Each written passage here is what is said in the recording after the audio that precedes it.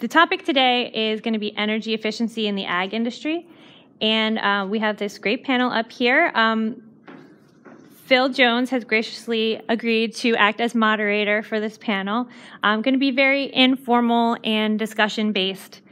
Um, we also have uh, David Saunders, who's CEO of Palo Alto Venture Arch- Architects, um, Michelle Ferguson, um, who's the energy program specialist from the DEP, um, Bill McMahon, president of e- Econ Opportunities Inc., and uh, Jeannie uh, Sikora, uh, who is from CLEAResult. So thank you guys all for being here, uh, and I'm gonna hand it over to to Phil. Are, are some of you in uh, other farm-related type activities? Do you work in uh, food processing areas? So I'm trying to get a sense of that. So if we could kind of go around the room and just uh, introduce yourself, uh, first and last name is fine, and whatever you're comfortable with, and then kind of what you do with agriculture and maybe if it relates to energy, if you have any comments on that, but primarily kind of how, how you would connect with uh, the agricultural field as it might relate to energy. Start. Tammy Hildebrand, Executive Director of the Berks County Department of Agriculture. Whatever information you provide here, I could get out to the farmers. Great, great. Uh, Roger Bowman uh, and Nancy, my wife, we have a sheep farm in northern Berks County. Um, we don't use a huge amount of energy, but anything, when we have probably the biggest energy use is heating water, keeping our water going in the in the wintertime. I know this morning I had to go out with a baseball bat. know that well. I'm with him. Yeah. That's great. Darth Levingood, I'm, I own land in Amity Township, and I'm uh, the president of Manatawny Creek Winery. We grow grapes, we make wine. Uh, pretty much that's it. And we also have a small on-site brewery as well. So that's who I am. I'm Larry Gelsinger, President of Pennsylvania Farm Bureau, or Berks County Farm Bureau, and I'm semi-retired. Yeah, so far. My son took over. He now has three chicken houses. We had pigs and beef. We still have beef, but we have three chicken houses now. hope it's okay, I moved up to the table. uh, Jim Kurtz um, with a company called RER Energy Group. Uh, we provide solar installations. There's somebody back in the Oh, corner there. go, go ahead, Brent. You want to introduce yourself? Uh, yeah, I'm just kind of observer status. Uh, Brett Gross, I'm with a nonprofit based in Philadelphia. It's all together now, Pennsylvania. And uh, we work on different areas from hemp to tourism things, uh, but uh, my area is renewable energy. And I'm Brian Moyer with Penn State Extension. I'm housed out of the Lehigh County office, but I live here in Berks County. And uh, mostly in ag marketing, so I'd say I don't do a lot with energy except for the retail farm markets that every single one hate their cooler cases. Oh, yes. I'm Carl Brown. I'm retired, but uh, was with FM Brown Sons Feed Company. We have four different uh, feed mills and grain processing centers in Berks County. About a dozen 150 horsepower motors, so you know what kind of energy we're using. Uh, I'm Bill Hughes. I'm retired. Uh, I, uh, uh, I guess most recently from before retirement was a lender for, uh, an ag lender for Fulton Bank. And I'm past treasurer for Barn. Stacy Jones, editor of Berks Country, part of the newspaper. Go ahead. Do we want you? Um, Stacy Mullen, I own the berry farm in Woodford in Kutztown. Um, I also have Honey Hollow apiaries. And then my day job is with T-Mac Agro, I'm a ag consultant and fertilizer rep for specialty crop orchards, vineyards, Christmas trees, and for Easter. I'm Donald Marr. Uh, I live in rural circumstances. I'm a residential customer of electricity. And um, I have a rural outreach program, and I like to keep myself well informed and educated on matters involving uh, rural areas. Gary Wegman, I own a 100 acre farm in the Oley Valley, uh, 20 acres of which we grow wine grapes, the rest is our cash crops. Okay. Do you guys want to go? Oh, oh, I guess I can. Um, Courtney Schober, ag coordinator uh, for Barn, uh, and um, I don't, yeah, just a consumer of regular residential energy, but also um, run the farmers market downtown Reading, um, amongst other things. But yeah. Okay, great. It's um, good that some of you admitted that you were residential energy users because um, one of the things that always happens when I do an energy audit is that as I'm kind of making my way out the door, the person who hired me to do, because we do businesses, always sort of tries to corner me and say, by the way, what can you do for me at home? and I say, well, we don't do, you know, residential, but let me give you some suggestions before I leave. Um, so we, we all have sort of dual lives. We, we, uh, we do things for a living and we do things to live. And so um, uh, that, that should relate on both sides. Uh, but we'll go down through the panel. Um, I'm Phil Jones. I'm the director of the Green Business Solutions, for uh, it's a division of EMS Environmental, and uh, we do uh, we help uh, primarily businesses, but we also work with nonprofits and, and other entities um, to reduce their energy costs. And we do that primarily through energy efficiency and renewable energy feasibility. Um, we also help with green buildings, uh, resource use that leads to more sustainable businesses that uh, are going to be more successful, last longer, and have a reduced environmental impact. Um, over the years, we've helped ag businesses in a lot of different applications um, through improving their operations, uh, through new equipment, alternative processes um, like uh, water pump systems, compressors, uh, ventilation fans, uh, more efficient process equipment, controls, uh, lighting, uh, particularly motor controls is a big area, process controls. And a lot of times it ends up really relooking at the process at which uh, people use energy. A lot of times we kind of get stuck. And this is how you do things, and sort of just looking for a slightly more efficient version of that. And we might want to sort of turn the whole tables back and look at, say, how am I doing things, and, and could I be more efficient in, in that process? Or how can I do it better and benefit from that? Because a lot of times uh, people look at the efficiency as, as something that you're sort of squeezing when you really look at it as opening opportunities for you to do something in a different way than maybe you had considered in the past. And a lot of times that looking at ways to save energy is a way to relook at what you're doing um, in your business or in you know in, in, your life in a way that that might uh, yield a lot of savings and a lot of uh, benefit so that's kind of the way we like to look at it as a whole whole picture, not as a uh, something in the corner that you're trying to squeeze. So I'll turn that over and we'll just work our way down. Dave, if you would like to. Sure, Bill, thank you. Um, so I'm Dave Saunders. I own a company called Palo Architect, Venture Architects. Um, I started working with farms in 2011, selling farm business management software, and um, learned a lot about some of the problems um, especially with regards to the cost of production side. Um, got involved in energy a couple of years ago through more of a, a larger focus on operational efficiency after I left um, Farmeron, the, the software company I was working with. And I'm now working across the entire ag food supply chain, which is interesting because the different participants look at energy and energy efficiency different. Um, here in Pennsylvania, um, the farms I've worked with generally we're not aware that there's significant savings available um, in terms of how you buy energy. Um, that savings can then be invested into a whole range of green technologies and equipment that can drive operational efficiency and energy efficiency. So that's kind of the lens that I look at it. Um, but my, my core business associated with that is the data. Um, I take the position that your data is extremely valuable. it's undervalued in the market.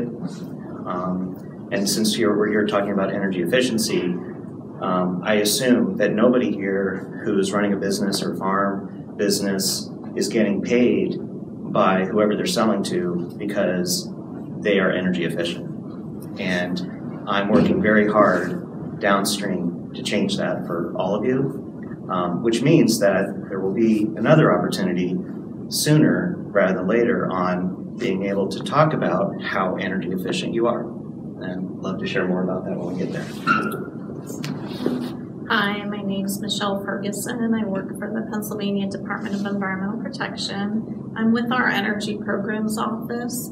Um, so we're a little bit different than most other DEP programs. We're non-regulatory. Um, so we strictly do education and outreach and we are the state energy office. We get funding every year from the federal Department of Energy to do different energy initiatives. Um, one of the reasons I'm really here today is we had pulled together a group of stakeholders about two years ago to talk about how can we improve energy efficiency for the industrial sector. And an outcome of those meetings was that our stakeholders felt that we needed to be doing more for the agricultural sector. So um, falling into that, we budgeted some money this fiscal year to have an analysis done of energy use on farms in Pennsylvania. Um, NC was selected as our contractor. So they're currently working on an analysis looking into how much energy is used on a, variety of different agricultural subsectors. And they'll be giving this, us at the state level some recommendations for what we could be doing better kind of comparing us to other states as well and looking at where our programs are lacking in Pennsylvania or how we could better use existing programs. So we're excited that report's not done yet, but we should have that like March, April time frame. So, you know, moving forward, we're hoping to be able to expand on different like educational program offerings. Um, and we're also working with Penn State Extension on some different education outreach for late winter 2020. So um, that's why I'm here, and we'll talk more about some of the other things we're doing at the state level. Good afternoon. Uh, my name is Bill McMahon. I'm a registered professional engineer. I've been involved with energy and energy projects for about 40 years. I helped start a company called Entech Engineering, about a 100 person firm now in Reading. And I retired from there about 20 years ago. And uh, I, uh, I stayed home for a little while, and then my wife kicked me out and said I had to go back to work. and so I have an office in town. I do uh, energy engineering studies, uh, design for various projects, including uh, schools, office buildings, uh, I admit I've never done an energy study for a farm, uh, so I, I come here, but uh, I've been involved with lots of projects, probably thousands of projects of all different kinds of energy. I used to be a nuclear uh, engineer, uh, economics expert, but I've gone down to light bulbs now, and uh, I like it very much. and so I, half of the work that I do is volunteer. I help a lot of churches in schools, and uh, half of it I get paid for, municipalities. Uh, just recently finished a study for the city of Reading to replace all their high pressure sodium lights with LEDs. They haven't done it, but that's, uh, that's another story. And, uh, and I like energy. It's very beneficial to everybody. And there's a thousand things that you can do. It's not just one simple area. There's a lot of parts and pieces to it. But I'm going to try today maybe to talk a little bit about lighting. I'm Jeannie Sikora, and I work for a company called CLEAResult. We implement utility energy efficiency programs around the country. Uh, we used to run the Met-Ed program here in Berks County, um, and I'm an engineer on the program, so I do a lot of measurement and verification when somebody wants to do a project. Let's say we're um, replacing an air compressor on a farm. We might come in and measure the energy used before and after the air compressor was was replaced. So I do a lot of that type of work um, as an engineer on these utility energy efficiency programs. Is everybody aware of Act 129? It's a state, um, it's a state law that requires you as ratepayers in the state of Pennsylvania, unless you're on a rural co-op, to pay into this Act 129. So it'll be on your farm bill or it'll be on your, your residence bill, but there's an Act 129 rider that we all pay into as ratepayers so that we, so that um, the public doesn't have to invest in future power plants. It's more expensive down the road to invest in future power plants. So everybody, ratepayers pay into that, and then um, people that go, if you go to Home Depot and buy a light bulb there, it might be discounted. Um, that's part of the money that you've paid in as a ratepayer into the Act 129 program. So my company runs all around, and these programs are in every state in the country, as well as there's a lot of programs in Canada as well. So my company runs those programs. Um, I work as an engineer on those programs, and then um, the other half of my job, I'm a core engineer for our, our um, corporate office, which is in Austin, Texas, and I'm the um, agricultural agriculture is my focus area. So it's really my job to figure out what agriculture needs, um, what what's not being um, met in these utility programs around the country, and help um, help change those programs. So I'm excited to be here to hear from you guys. Um, you know what what's how you've used any of these incentive programs or or what might be useful to you as well.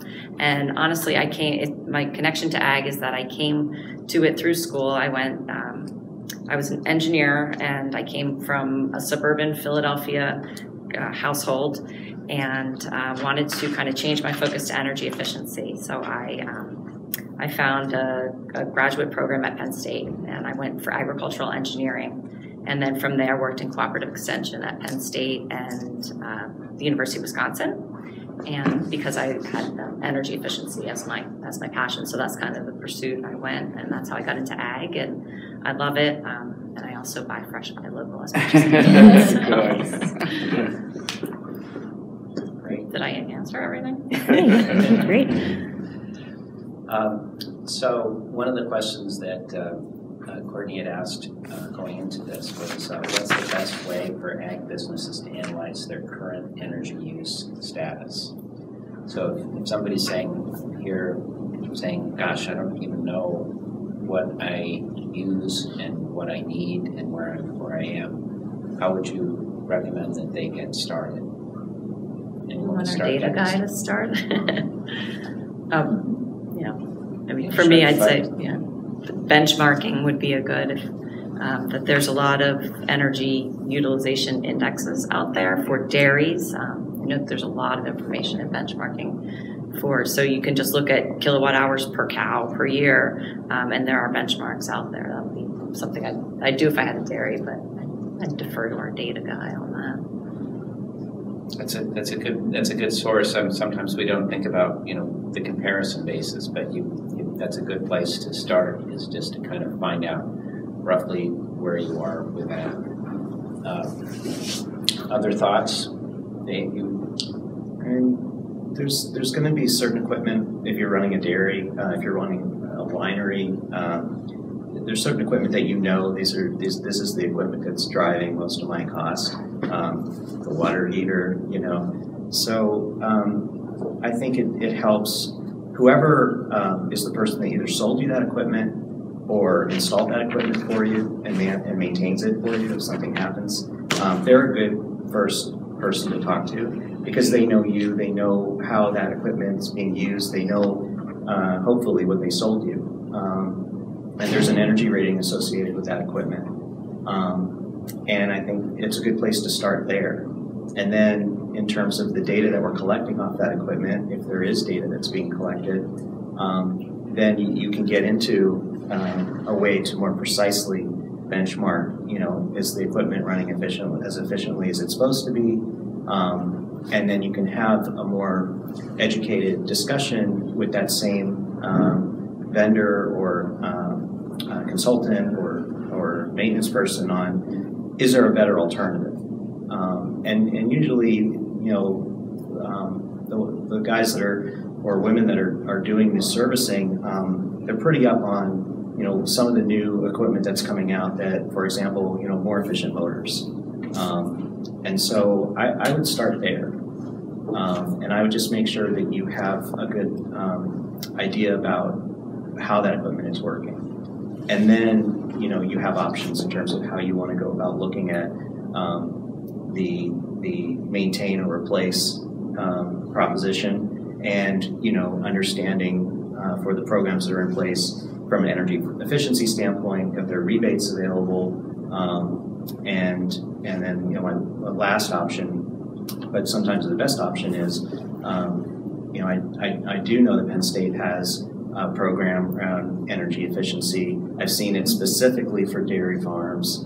Um, and so, you know, but even you don't have to be a farm. There are the same opportunity to to look at that for a business as well.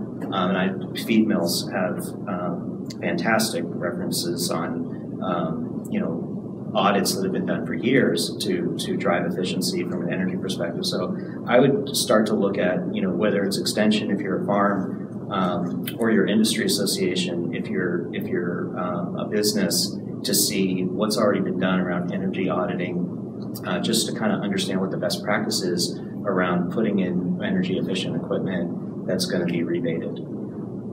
That's good. Great. Bill, did you have something you want to add to that? Um, well, I, I would say if, if it's a larger operation, it's probably not a do-it-yourself type of a process.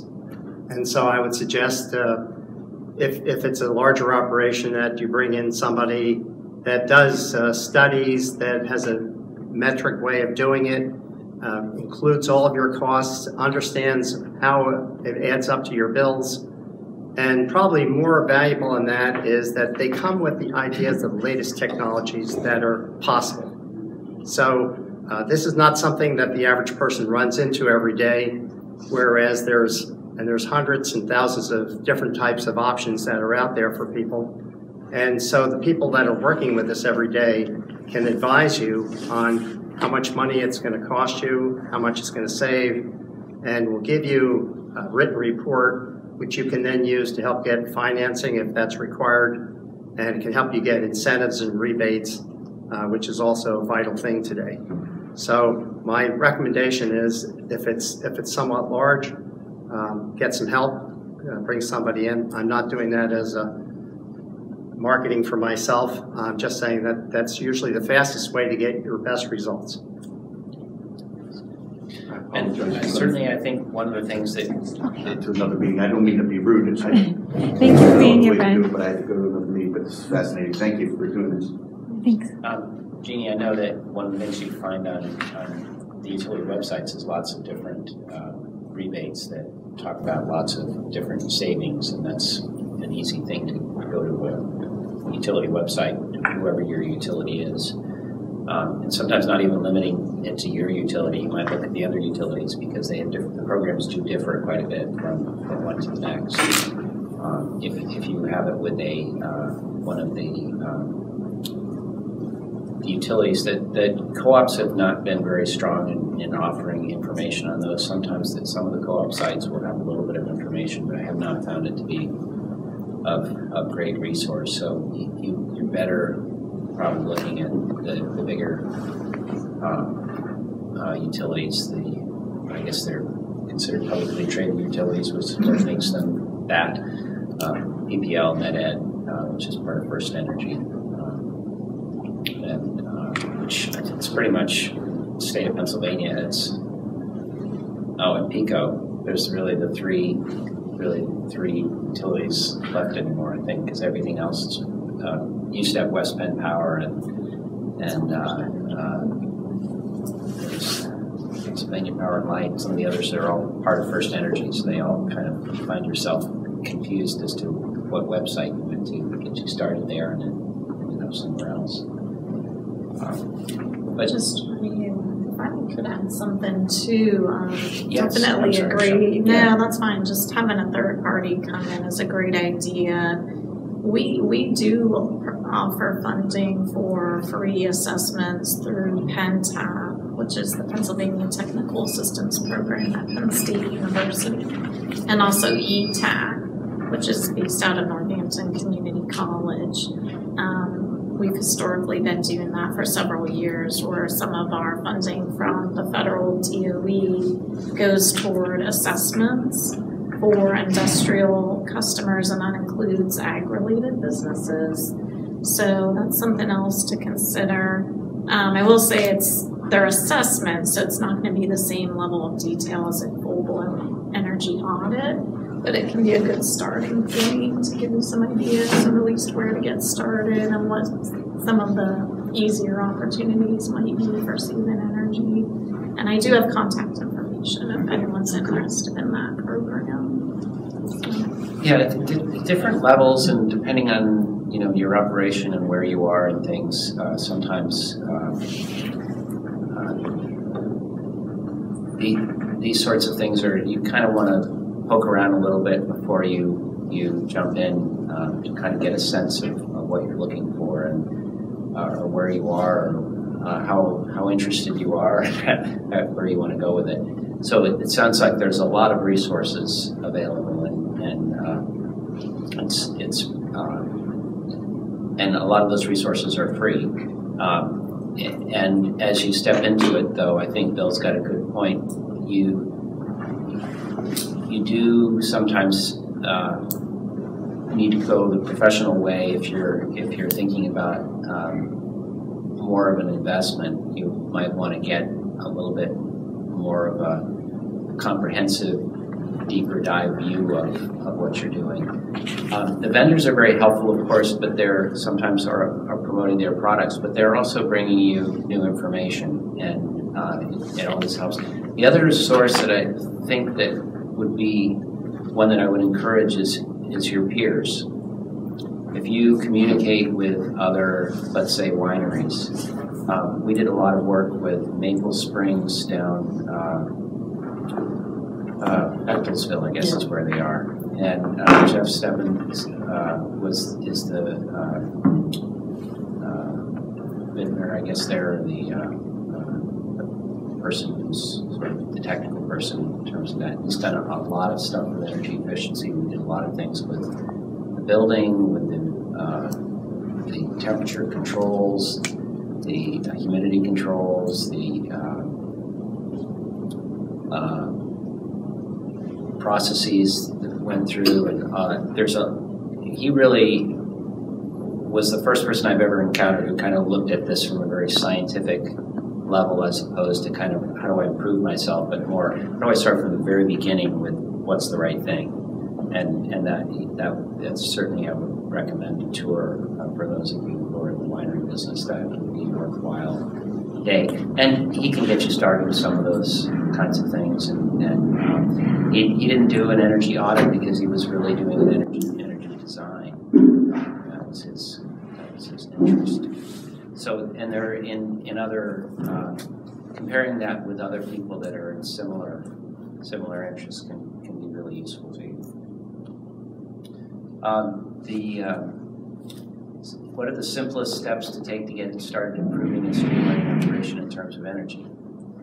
I think that's a, one we can certainly address pretty pretty quickly, but um, want to start with that? Sure. I mean, I, would say look for play, look for things that are on when they don't need to be on, right?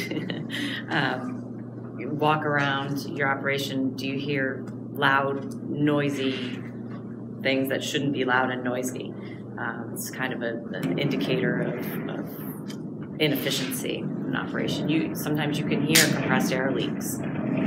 They shouldn't be there because you're making compressed air it's just being wasted to the atmosphere. So I think that there's some you know, common sense types of things, um, and so I'd say trying to turn things off, even, even automatic control. Occupancy sensors are a lot better now than they used to be. So we can we can use we, we can have an occupancy sensor that even if we're all sitting still will leave the lights on because it will sense our um, that we're here. It'll sense our warmth. So um, you know there's certainly things you can do there if you have a a compressor room or the water heater room where somebody might walk in and then leave the lights on. Well if you put a little occupancy sensor in there the light will only come on. Um, and so the technology's there is better. But yeah i'd say look for places where you can turn things off when they're not being used is, is my simple answer for that. Um, I came prepared today to talk a little bit about lighting. And uh, it's a huge subject. There are people spend their whole lives uh, just on doing lighting. I don't pretend to be that person. But I brought along some information which I'd like to pass out if I could.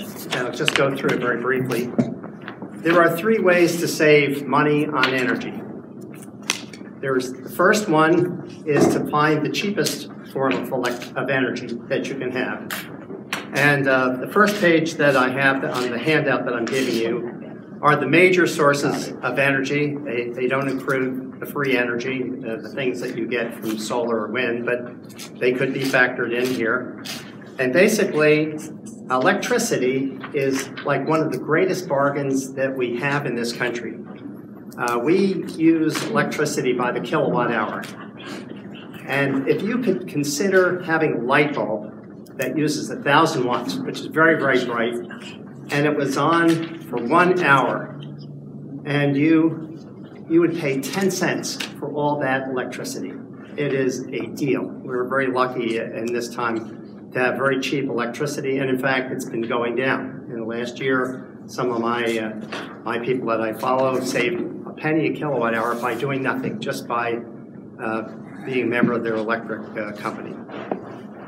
Second one is fuel oil um, that I have on the page here. It's about $2.50 a gallon. Um, million BTUs, MMBTUs is the standard in, in the industry.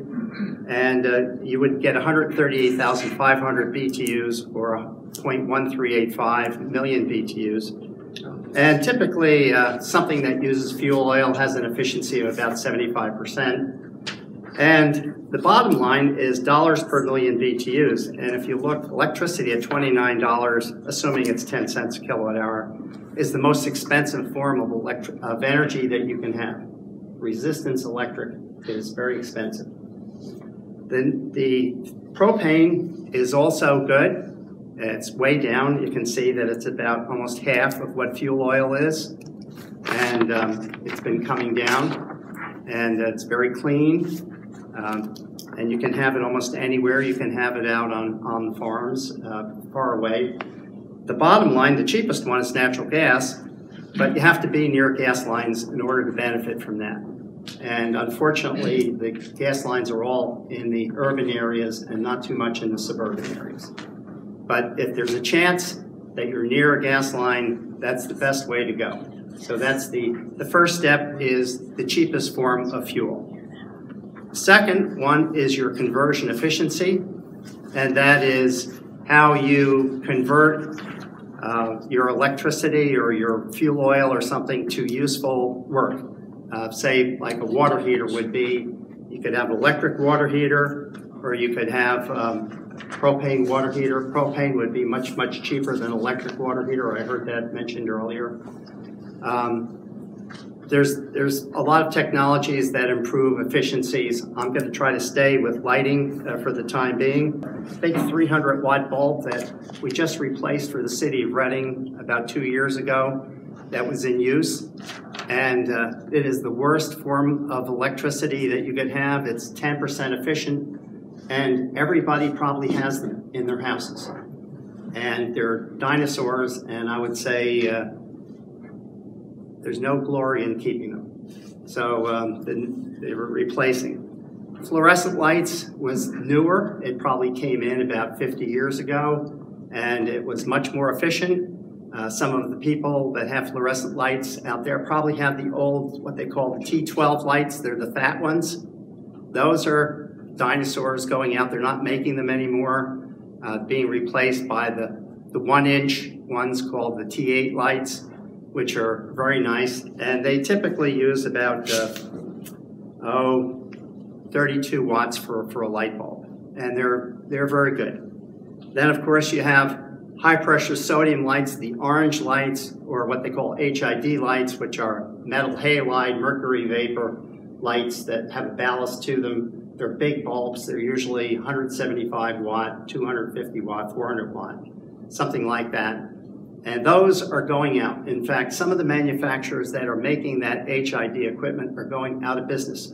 So if you have any of those associated with any of your facilities, start looking for an improvement because we're in the age of LEDs. That's the bottom line here. LEDs, instead of being 10% or 12% efficient, are 90% efficient. And so there's very little waste, there's very little heat that's given off. It's all coming out as light, which is what you want from a bulb. And so uh, in, in this particular case, the LEDs, probably about 10 years ago, they came in the first LED bulbs for commercial use, and they were terrible. And they didn't look nice, and they, uh, they didn't last very long. I bought one of the original four foot tubes. I spent $80 for one tube. And it lasted four months and it went out. And I bought another one and it cost me $60. And I was just experimenting. I was trying to be leading edge on it. About five years later, those same bulbs were $2 a piece. Today they're one dollar a piece. I, I put one over here on the on the table on the side here that last five times longer. They will not burn out on you, and uh, they don't have ballast, so the ballasts don't go bad, which is sometimes the problem with lights going out. And they're very very efficient. They're 90% efficient. The last part of energy efficiency, which I would cover for lighting, is how much you use it. It's called end use. And end use is if you don't need it, don't don't use it. And so don't have the lights on all night long if nobody's there. And there's a lot of different ways to do end use curtailment, but in this particular case, I just used my equivalent light sources here. So I have a 150 watt incandescent, a fluorescent bulb that's 32 watts, a high pressure light that's equivalent, and an LED. And you can see the difference in the cost if it was on all year long. $131 for a 150 watt incandescent bulb, same as $15.77 for one of those fluorescent, those LED tubes over there. And if you didn't need it all the time, and I put it in green here, half time, uh, $7 for an LED instead of 15. And if you don't need it half time and you need it 10% of the time, your costs just go down proportionally. So um, three ways to save are one, get the cheapest form of electricity, two, get a high efficiency conversion. Uh, not everything converts, all electric doesn't turn into propane or anything like that. There's no propane lights out there. And then finally is keep your end use down. And um, surprisingly, most of us are pretty sloppy and we pretty much keep lights on and we do things that we don't turn the temperature back in our houses or things like that. So there's a lot of ways to save money, uh, but lighting is something we could all do. I don't care whether you have a big business, small business, even in your houses, uh, you should be looking at your, your lights because they're cheap, they're high quality, you can get any color that you like from them. There's every different kind of style out there and application. So I would say if I could give you an easy recommendation everyone could benefit from, it's LED lighting. Um, I'm going to jump to the other questions so that we can finish up because I know everybody has things that they need to get to. So, um, uh, one of the next topics is what are some of the newest or best technologies? Of course, we've talked about LED lights have been out there, but uh, perhaps there's some other technologies that uh, our members would like to mention. Um, um, tools to achieve increased energy efficiency for ag-related operations? Uh, I would say uh, looking looking at controls, um, variable frequency drives.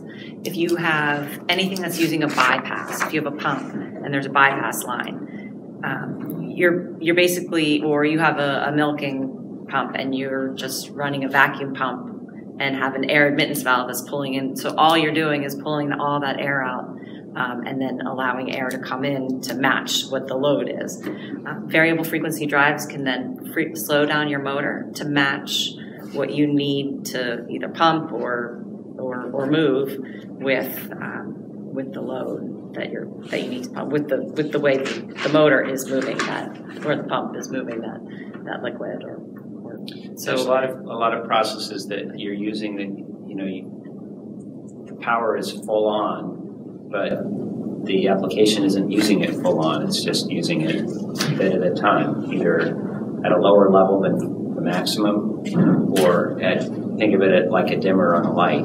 Um, but uh, many things that motors are used for are not uh, uh, the sort of things where the motor is full out trying to use that, and you're not getting the efficiency from the motor if you're not uh, using controls on it. The, motor's working as hard as it can work, uh, whether it has the the load or not. There's a little bit of range in there, but what happens is as the motor becomes unloaded, it becomes less efficient. So VFD keeps your your variable frequency drive keeps that. They also call it for, uh, variable speed control. Uh, some of the other things, they've got some other terms. Did you have something? I would, yeah, I would just say that we look for opportunities where, where you might not need that motor. It might be cycling on and off to meet the, meet what's happening now, or there's some sort of, of bypass. And the controls have gotten very, very good, and the cost of those controls have, has come down significantly as well in recent years. So that's something, if you've looked at it in the past, it's something worth, worth looking in the future. Um, I don't know if we're gonna get to number four. I was hoping to, that's why I wanted to okay, of I'll, roll I'll hold instead off of then, giving because I'm not an engineer or a technology guru, but I can talk a little bit about financial aid too. All right, well, let's, let's move on to the financial aid question then, and we'll let you start with that, Michelle, and then, um, we can get other. Okay.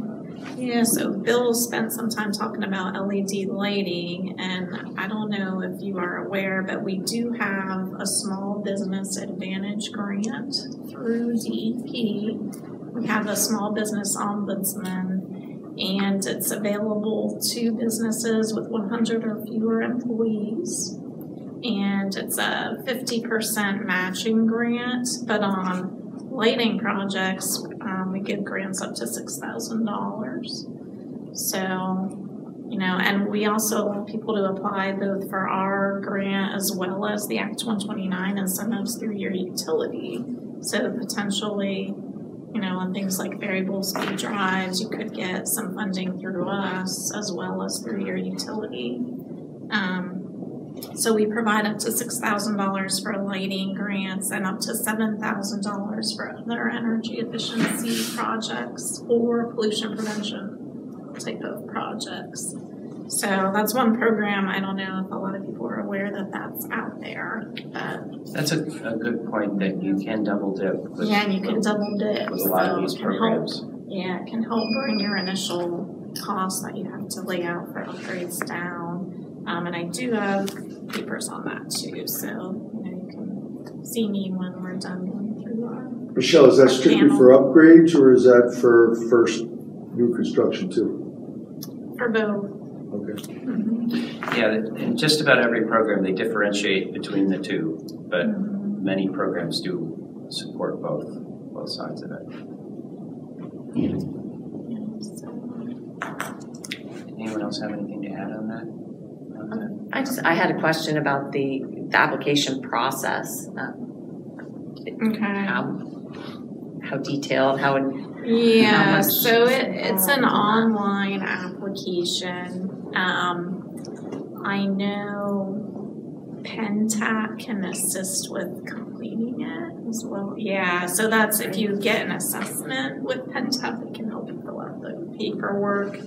Um, I don't know how complicated it is. I honestly haven't gone through it from start to finish, but I mean, it, it does take a little bit of time to fill it out. Another program would be like the USDA REAP grants, um, which you may be more familiar with. So ours aren't as complicated as those applications, but Yeah, this is where oftentimes the professional involvement really helps that process because these, if you're a first-time filler out of these forms, it's uh, really overwhelming. And so there's different ways that they can help with that. That's one of the things um, we do uh, rebates all over the country for our clients um, to help really reduce the cost of our services by doing that through the, the rebate process of working with them because they get these rebate applications and they just, you know, it's, it's, it's quite daunting and it's unfortunate that that's the way it is. But what, what has to happen is these programs have to uh, really sort of support they get audited, they have to be transparent, and you know they can't just be handing out money. they need to justify that process. So unfortunately, it's a complicated process to do that. And they've tried to simplify it. That's where lighting has been one of the easiest ones because lighting is, is a very straightforward process. A, a light bulb uses pretty much well, the dimmers have complicated it a little bit, but uh, they, so it's it's they've simplified that process, and, that, and that's uh, most of the area. That's been the low frame group for 20 years now, so uh, it's an easy area to, to address. Some of the other ones are, are quite a bit more difficult, and uh, sometimes you may find yourself thinking that the incentive is not worth that. Um, so that's why it's it's good to ask around and, and look at multiple channels, uh, again, comparing to peers, uh, looking at the programs on online, um, and, and talking to some of these support services that are really important, especially the state services that, that can really help you with, with that process. And it, it's it's a little bit unfortunately because not everybody's doing this. Uh, it's it's it, you just kind of have to work it a little bit and and then pursue that interest and ask a lot of questions, and, and you'll get there. So, what are the biggest benefits to making energy efficiency changes to an ag business? Somebody want to start with that one, or I can take that off?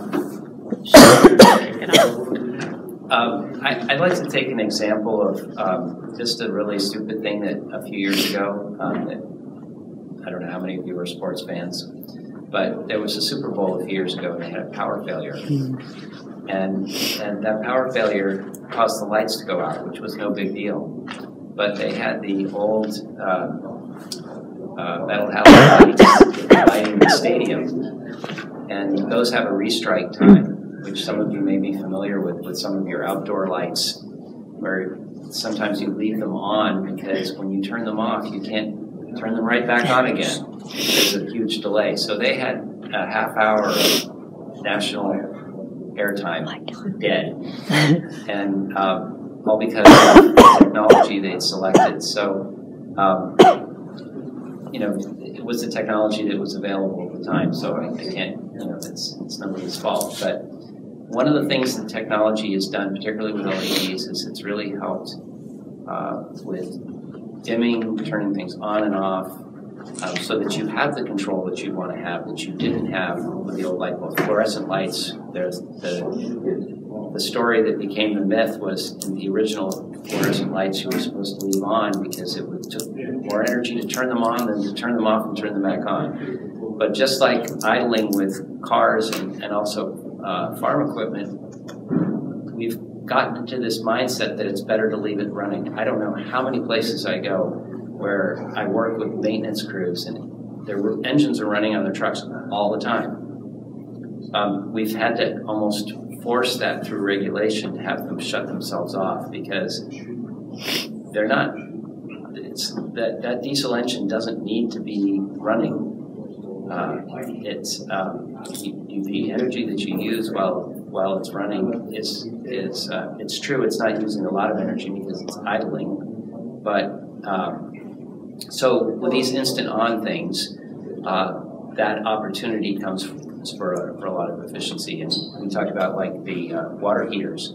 Uh, the propane or the natural gas water heater uses a lot less energy cost, but now they have the water, the heat pump water heater, which has, uses even less the propane water heater. So you, the technology keeps moving forward with more and more efficient. So from a heating process, there were a lot of things to, to look at with that is, is, is with improvements in that. So the benefits are inconvenience, being able to turn things on and off when you want to, being able to set the controls. Uh, I do a lot of work with the ski industry, and uh, the ski industry, they're turning on snow guns and turning them off, so they're pressure changes. And one of the problems with that is somebody's adjusting valves all over the place. They're running their pumps full out, they're dumping water. Well, you put in a variable frequency drive that provides constant pressure, and you can turn that stuff on and off all you want. It's just adjusting the flow. Keep track of that. So, uh, same thing is true with compressors, uh, with uh, fans, ventilation fans. There's savings with that, with those controls. So, what you'll find is, and a lot of those controls are packaged controls that you can buy off the shelf for that. So, that's an area that you can, you can get pretty instant uh, improvement. Any last words on that? Jake, you want to start? I, I would say, um, in terms of benefits, obviously, um, if we get a spike in energy costs, this is going to create some, let's say, budget certainty in the sense that you've already taken the steps that you needed to to try to mitigate increase in energy costs. And our forecasts are saying that energy is definitely going to be going up. So you would want to be looking at that not just from the standpoint of an efficiency strategy, but from an energy strategy overall.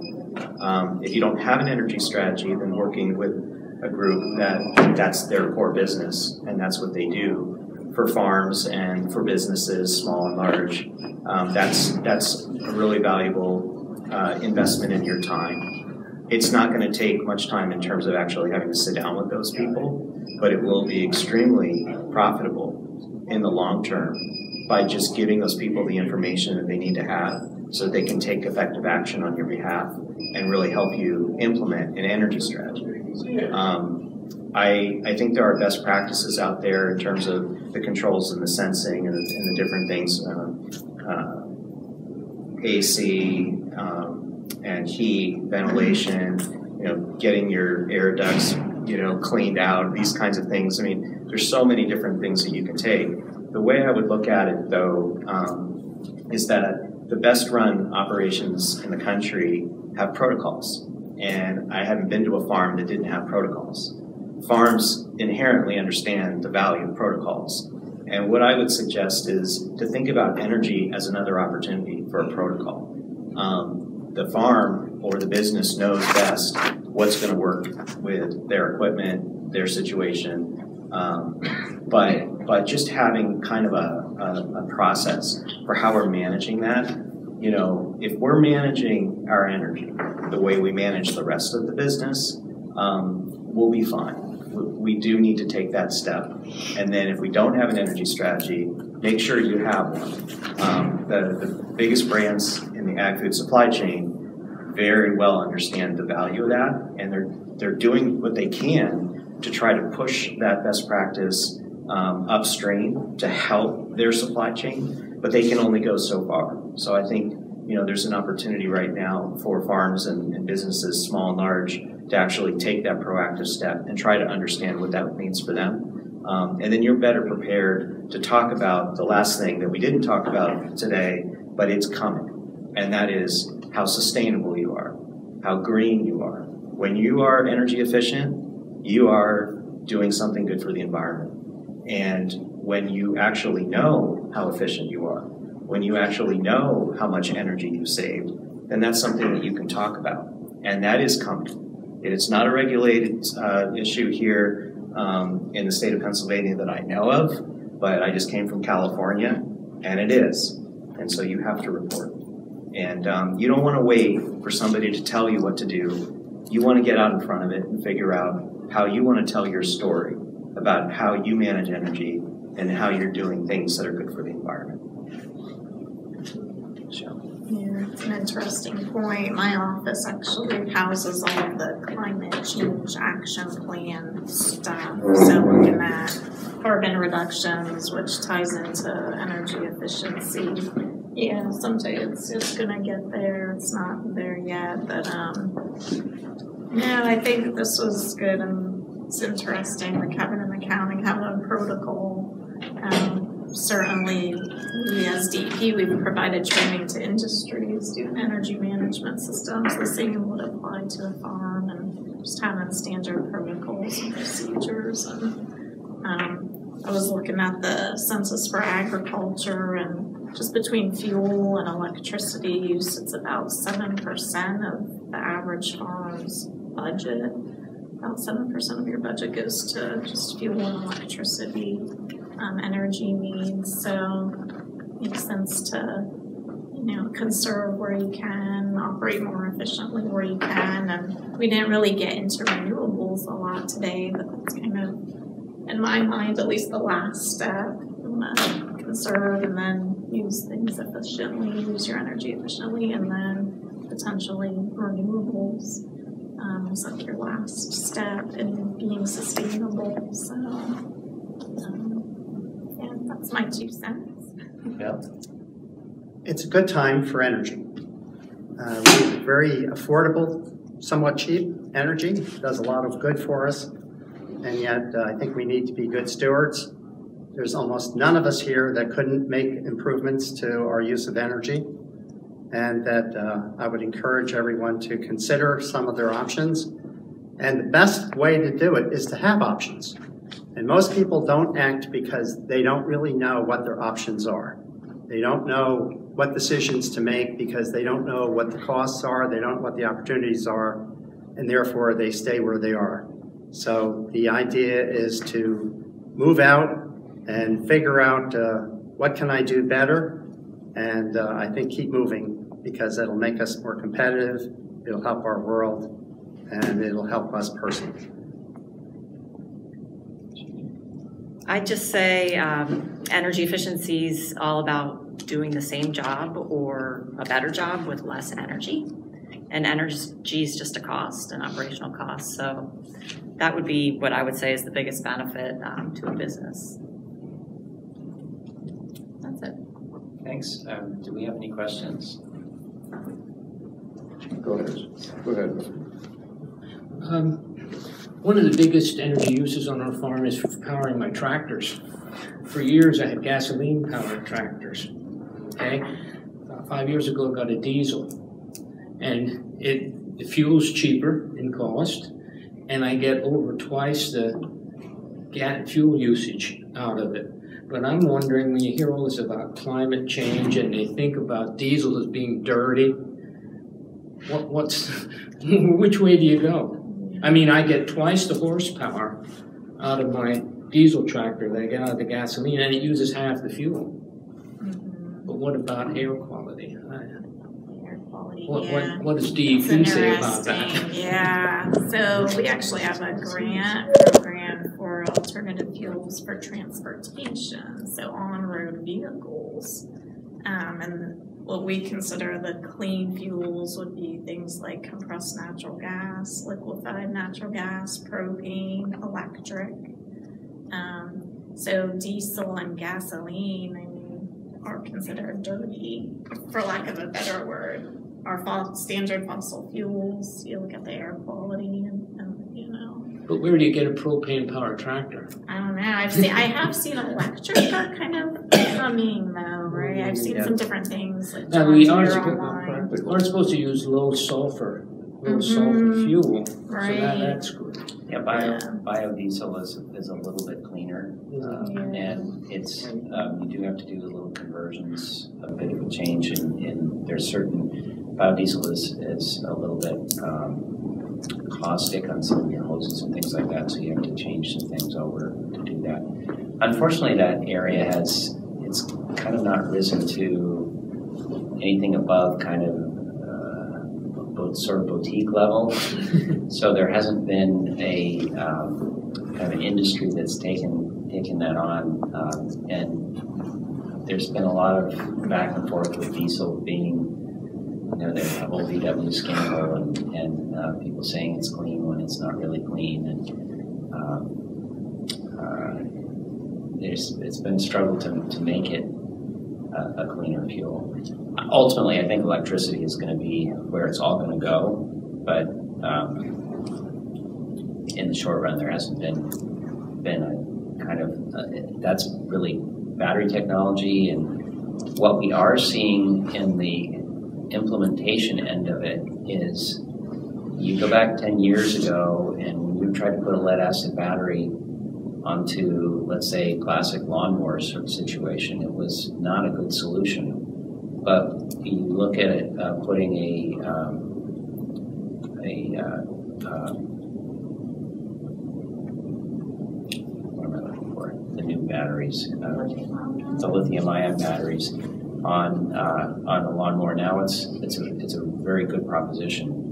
Uh, and so you, you're starting to see a lot of that. Um, you, you never heard of an electric chainsaw 10 years ago, and now you're starting to see electric chainsaws. So it's, it's starting out small um, because the lithium ion battery is kind of based on a fairly small type application. But um, the automotive market is creating the opportunity for that to, to grow. And unfortunately, from an ag standpoint, that's it's a slower side because just the volumes aren't there.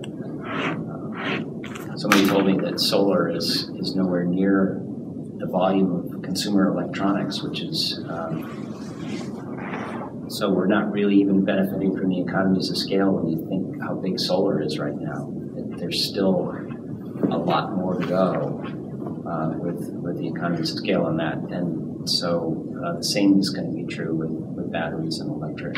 So, so I just have something quick to add to that. Uh, there, for the short term, you've invested in this equipment and you want to use it. Uh, Penn State Cooperative Extension worked with, uh, well, it was a Northeast collaboration on a farm energy IQ. It's online, and there's modules out there for um, for how to use your tractors mo- most efficiently. You know, there's some tips and techniques and strategies, and I'm no expert in the subject, but I do know that that exists out there. Might be helpful.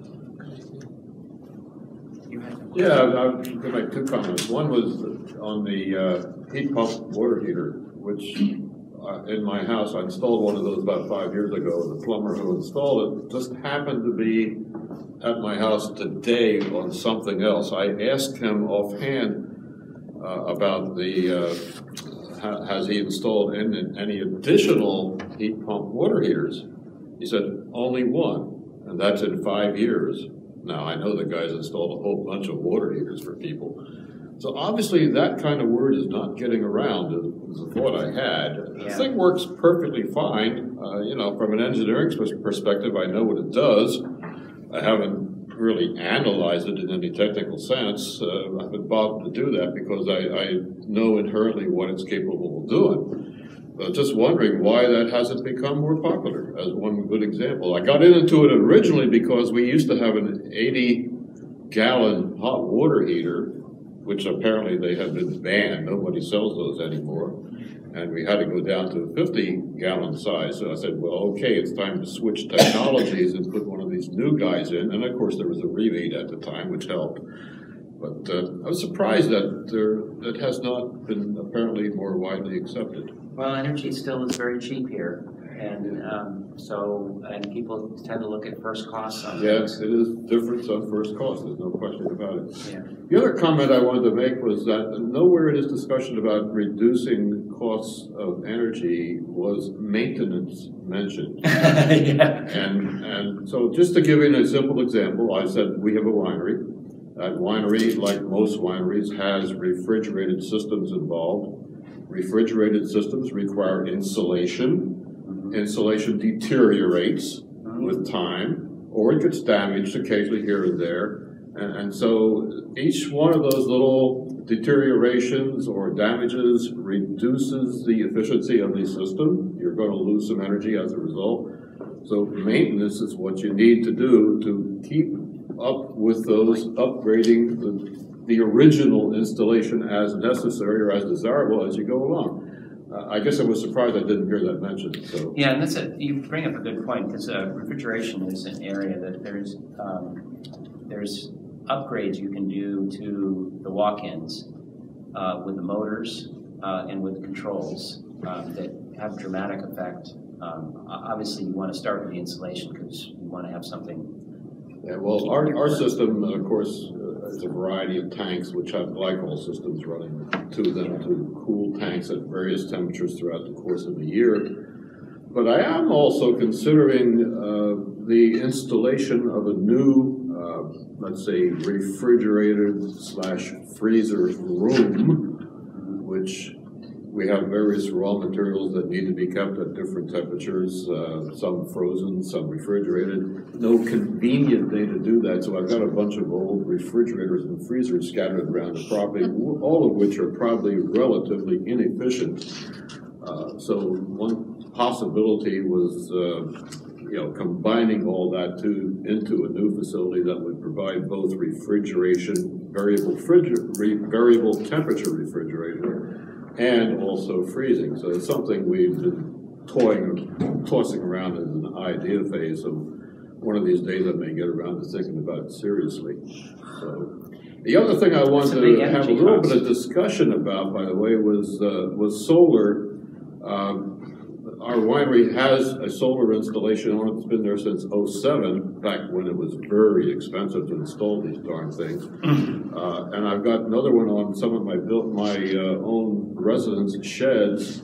Uh, and I'm, I'm contemplating an additional solar installation, a ground-based system. But I've been reading a bunch lately about Pennsylvania's AEC laws that may be changing uh, and may not be as desirable in the future as they currently are. I wonder if any of you have any comments about that topic. Yeah, Jim, feel yeah, free to feel free there. to jump in. It's great to see you, Darb. Yeah. So um, there's pushback on net metering in Pennsylvania. PECO is leading the effort to try to get rid of net metering, which means when you generate more than you consume at the time, what credit do you get when you put the energy in the grid? Um, it's unknown what's going to happen. Uh, there's a lot of efforts being done right now to try to get Pennsylvania to have community solar. Um, community solar is where you put one big array in a field and kind of allocate the energy to multiple residents or different buildings. Um, in the last three years, New York, Maryland, um, New Jersey, and multiple other states have done that. Pennsylvania is on the docket to get it. Um, and uh, so there's horse trading going on. Uh, in order to get that, uh, PECO is trying to get rid of net metering. So it is it is an uncertain time um, uh, related to, to net metering in Pennsylvania. Is it possible the state would allow that to happen? Uh, net metering has been taken away in, in, in, different states at different times. You would be grandfathered. The people that have, have gotten it um, uh, have not ever had it taken away. Um, in Nevada and Georgia, other places, there's been attempts to get rid of net metering, um, and uh, people that have it are grandfathered. So there's a, a, an incentive to, to do that. So if I were going to put another, uh, say, 20 kilowatt system in, I better do it soon? you think I'd say anything else? and, and the tax credit is dropping as well. It's, yeah, I knew that. Yeah. Agriculture in the Northeast is having a tough struggle right now. Our fruit farms have had a couple back-to-back bad years. Um, the dairy industry has been in a big slump for over five years. Um, we've been doing a good job in Berks County of preserving farm land, but preserving farmers is a conversation that we need to have, particularly trying to find ways to attract the next generation to sustain our farm industry. Having said all that, um, one of the when you watch where the puck has come from and where it's going, one of the thoughts that I've always tried to put out there is that um, farms in the past grew food, food for animals, food for people. In the future, they may grow energy. Um, is that sustainable in Pennsylvania given what light we have access to? Um, if it's not just solar, is geothermal wind other possibilities here? Or probably not because we're not really wide open. So if you could speak to that. Well, from a wind standpoint, we, we do have a pretty good wind resource here. Um, it's it's not a great wind resource, but on a um, on a smaller scale and in, in, in particular areas, it's it, we still have not really capitalized on the wind resource. That's been very successful for farmers in the Midwest, uh, and we have been very uh, weak on that really since Rendell left because he was a big proponent of wind. Um, there's there's really been no wind program at all uh, since that time. So I think that's a I think that's a missed opportunity in Pennsylvania. Uh, that we really should be availing ourselves of, uh, especially since we can uh, do a lot of local generation on a smaller scale. I'm not suggesting smaller turbines, but actually fewer of them. Uh, and there's huge opportunity along the ridge here that we've we've got good small scale wind uh, that that's uh, available to us. Uh, I think the same thing true with solar. We have enough solar to be uh, cost effective for for that as a farming supplement. And uh, I know down south, you know, sad part of what I see this is from an agricultural standpoint farmers down south are, are selling out and saying, I'm going to become a solar farm. I'm not going to farm anything else anymore. That, and that's how they're making their money. And um, that's, to me, that's a little bit of this always this, this, you know, land versus you have to make a living somehow. And if we lose the farmers, um, doesn't matter if we have the land if we don't have anybody to, to work them. So I think it's a it's a great supplement, and we should be working that in. Uh, and it, it can work just like wind does. I think it's more, you know, uh, more competitive with the growing of crops than wind is, because wind doesn't have as much of a, a, a detrimental effect on shading or or, or using. It's, it's much lower use of, of the acreage for per unit of energy. So I, th- I think the big opportunity is in, in wind, and I'd love to see us promote that more. So I just I just came from California, and um, one of the opportunities I see that's coming for, for dairy farms is biogas. Um, you're going to see massive development in California around biogas. I would take a look at that. You know, we don't need to be the ones that are the first ones to figure this out. Uh, let the investments or misinvestments that are being made in California um, kind of tell the story, and then we can figure out what's going to make sense from a biogas perspective for Pennsylvania. Um, there's technology now that really facilitates that that didn't exist before. And so I think, you know, the, the ROI and the cost to get into it is, is getting to a point where because of the massive scale of development that's happening in California, um, you know, it's going to start to get interesting for us here.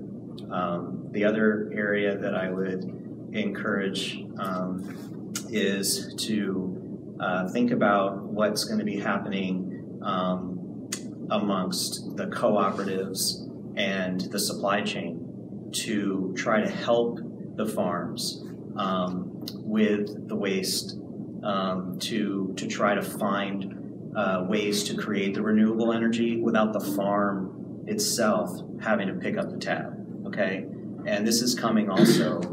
Um, and and I just came from a very large uh, area of, of Pennsylvania that is thinking about itself as a large area that wants to itself source their energy from renewable sources. And so, you know, one of the things that's lining up here nicely is that if you already have as part of your strategy, whether it's your farm or your business, to um, to support that kind of market for renewables, whether it's you're going to produce it yourself or you're taking your uh, waste products and you're moving them into readiness to support that that uh, strategy, you're going to be in the first position to take advantage of what's going to become a new revenue stream for you, and it's going to be material. Um, but what I tell all the farms that I know are hurting, or even if they're not hurting, you know, I know that it's been difficult. Um, let's just get procurement under control. You know, there's a best practice in every industry around procurement and how we buy energy and how we buy all of our uh, things that we, we put into cost of production, setting aside labor for a second. And, and let's just um, use the best practices for how we buy things because there's a lot of savings there. And I see it, I see it every farm I've worked with. And if we just get that part right, which is easy to do, you know, you don't have to take this on. Let somebody else do it for you who's not going to charge you um, and, and get their expert opinion. Take advantage of those e-sourcing platforms. Um, a lot of people don't know that Amazon will give you a 5% discount on what you're buying if you're a business.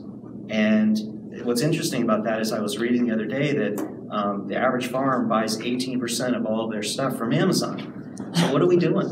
Why are we not taking advantage of these um, buying programs? It, it is exists. It's not going to come from your co-op. I'm sorry. It's not going to even come from your vendor. You're going to have to find out about these opportunities. On energy, I focus on that. Um, but there are other e-procurement marketplaces out there, and we have an incredible competitive advantage in this state on energy. I just came from a state where they have to pay minimum 22 cents per kilowatt hour. And depending on how they're graded, they may end up having to pay 48 cents per kilowatt hour, and they have no choice. That's what they pay. And I'm doing contracts for farms here in Pennsylvania, um, saving uh, poultry producers 65% on their energy bill and getting them 4 cent per kilowatt hour contracts. There's no way that a poultry producer in Petaluma, California is going to be competitive with a Pennsylvania poultry producer who's on a four cent per kilowatt hour contract. I'm sorry, that's just not happening. So we're we're in a really great position. We need to exploit that. If if I'm I'm talking to a farmer and he's asking me, Dave, what can I do right now to get my my financials into a better position so I can you know have a um, a new conversation with my lender or whatever it is. Um, I'd say let's just start looking at what are you buying and who are you buying it from and how can you save money on that. Let's do that right now. We can get that done in 30 days. And then after that, now that we've got some found money, well, obviously we've got things we need to, bills we need to pay and whatnot. But then let's also start thinking about our strategy, let's say for energy, on how are we going to deal with the fact that energy is going to potentially go up much higher in price and how are we going to play into that how are we going to expand our business model to take into that into account and maybe capitalize on that um, and and also you know when we're talking about energy efficiency i'll say it again if we're energy efficient, we're green. If we're green, why are we not talking about it? Because that's what the supply chain wants. You know, I just talked to one of your largest dairies in the state yesterday, and they want to put all kinds of green stuff on their products. They can't do it because they don't have the data. So if you take control of, okay, well, I actually know how much energy I use and I know how much energy I've saved, and I know how I'm continuously, you know, farm IQ, whatever it is, I'm just getting better every year. Here's the data. Well, I'm gonna, I'm hoping sooner than later, you're gonna get paid for that. You do all the work to make that happen, to collect all your data. You deserve to get paid for that, and it's and it's it's an opportunity that the average farm in this country is earning the least amount of every food dollar ever since the history of the data has been collected. Part of the reason for that is that the farmers haven't been in a position where they could really leverage their data. That's changing now, and energy is a perfect example of how that's changing.